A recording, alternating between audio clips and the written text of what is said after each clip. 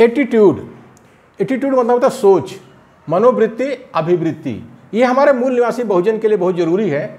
Attitude जो होता है, ये सॉफ्ट स्किल होता है और सॉफ्ट स्किल से संगठन बनता है।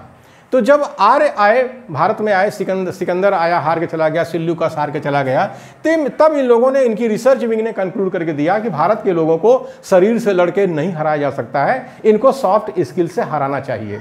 तब वो लोग जो है बौद्ध धर्म के अंदर गए और हमारे जो राजे महाराजे थे, उनकी बहन अपनी बहन बेटियों से उनकी शादी कर दी। और शादी करने के बाद क्या हुआ कि हमारे वो प्रशासन में आ गए। हमारे राजे महाराजाओं ने उनको प्रशासन में जगह दे दिया और प्रशासन में आने की वजह से उन्होंने इस तरह से शिक्षा व्यवस्था को चलाया कि हमारे मूल निवासी बहुजन जो है शिक्षा से वंचित हो गए और शिक्षा से वंचित होने के कारण जो है, बौद्ध धर्म में जो अष्टांगिक मार्ग है, उसकी जो पहली सीढ़ी है, सम्मादित्य, यानी पॉजिटिव एटीट्यूड या सम्यक दृष्टि, उसको नहीं समझ सके और यही कार्य इन लोगों ने किया कि इन शैतानों ने क्या काम किया, इन आर्यों ने क्या काम किया, हमारे मूल निवासी बहुजन की जो सोच थी, उसको निगेटिव कर दिया, सोच को नकारात्मक कर दिया। और बस वहीं से हम लोग, यानी कि अष्टांगिक मार्ग की पहली सीढ़ी पर ही हम लोग असफल हो गए या उससे गिर पड़े तो आगे सात सीढ़ियाँ चढ़ने की ज़रूरत नहीं पड़ी। तो attitude is a predisposition to respond in a positive or negative way attitude is a predisposition to respond in a positive or negative way to someone or something in one's environment in one's environment मतलब कि किसी व्यक्ति की सोच उसकी वह शारीरिक अथवा मानसिक अवस्था है। किसी व्यक्ति की सोच उसकी वह शारीरिक अथवा मानसिक अवस्था है, जिसके द्वारा वह अपने वातावरण में किसी व्यक्ति के विषय में अथवा किसी वस्तु के विषय में सकारात्मक अथवा नकारात्मक ढंग से सोचता है।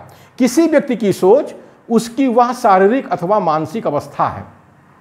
जिसके द्वारा वह अपने वातावरण में, जिसके द्वारा वह अपने वातावरण में किसी व्यक्ति के विषय में अथवा किसी वस्तु के विषय में, किसी व्यक्ति के विषय में अथवा किसी वस्तु के विषय में सकारात्मक अथवा नकारात्मक, सकारात्मक अथवा नकारात्मक ढंग से सोचता है।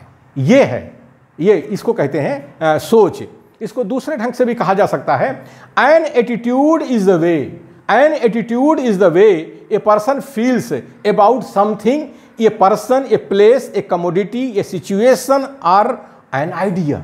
मतलब ये जो एटीट्यूड है ये जो है किसी आदमी के बारे में किसी से आ, किसी परिस्थिति के बारे में किसी विचार के बारे में आदमी कैसा सोचता है? अच्छा सोचता है या ख़राब सोचता है? तो इसी को एटीट्यूड कहते हैं। और ये सॉफ्ट स्किल है और हम मूल्यवासी बहुजन को इस पर बहुत ध्यान देना चाहिए कि हम सॉफ्ट स्किल हमारे बीच में नहीं है। सॉफ्ट स्किल ना होने के वजह से हम मूल्यवासी बहुजन अपना संगठन नहीं बना बना पा रहे हैं नहीं बना पा रहे हैं। आगे हैं साथियों it expresses an individual's positive or negative feelings it expresses an individual's positive or negative feelings about some objects about some objects आगे भी देख सकते हैं, दूसरा भी एटीट्यूड कहने का ढंग है। Attitude are simply expressions attitude are simply expressions of how much of how much we like और डिसलाइक वी लाइक और dislike various things various things. The defining characteristics of attitude, the defining characteristics of attitude is that is that they express they express and evolution of some objects some objects सोच अनजाने में भी हो सकती है सोच अनजाने में भी हो सकती है सोच अनजाने में भी हो सकती है एन एटीट्यूड में अनकॉन्सियसली हेल्ड मतलब सोच ऐसी होती है जिसके बारे में हम जानते भी नहीं है वो अनजाने में भी हम जो है अपने अंदर अपने अंदर जो है उसको धारण कर लेते हैं अपने अंदर धारण किए रहते हैं हमको पता भी नहीं चलता है हमारी सोच कैसे बन गई most of our attitudes may be those about which we are not clearly aware.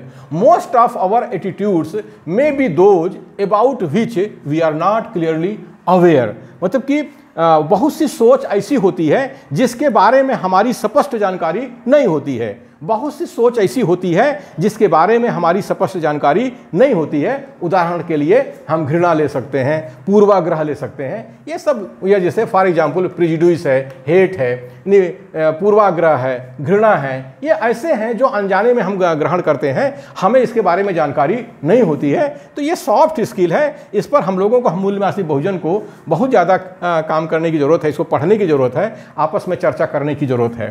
तो एटीट्यूड की कुछ करेक्टरिस्टिक्स हैं। एटीट्यूड की करेक्टरिस्टिक्स हैं। पहली करेक्टरिस्टिक है attitudes affect behaviour attitudes affect behaviour यानी जो एटीट्यूड होता है, वो सोच व्यवहार पर प्रभाव डालती है। सोच व्यवहार पर प्रभाव डालती है। यानी जैसी आपकी सोच होगी, वैसा ही आपका व्यवहार होगा। जैसा आपकी एटीट्यूड होगा, वैसा ही आपका व्यवहार होगा।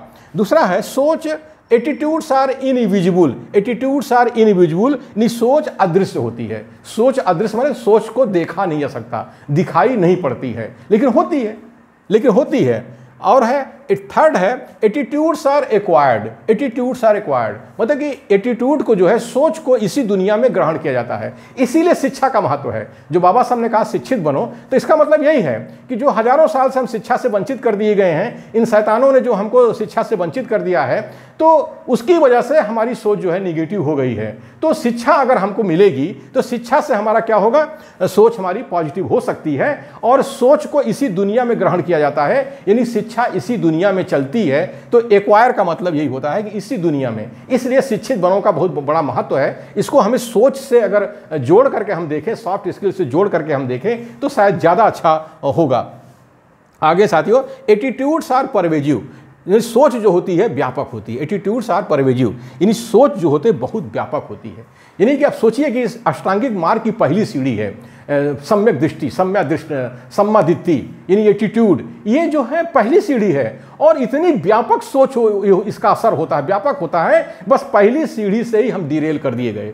पहली सीढ़ी से ही हम मूल्यवासी बहुजन डिरेल हो गए, हमको इन शैतानों ने हमको डिरेल कर दिया। बाकी इनको कुछ करने की ज़रूरत नहीं है। आज हज़ारों साल से हम गुलामी का दंश झेल रहे हैं। और अगर हम अपने एटीट्यूड को सही नहीं करते हैं, इसको पॉजिटिव नहीं बनाते हैं, इसको सकारात्मक नहीं बनाते हैं तो हम इस गुलामी से मुक्त नहीं हो सकते हैं।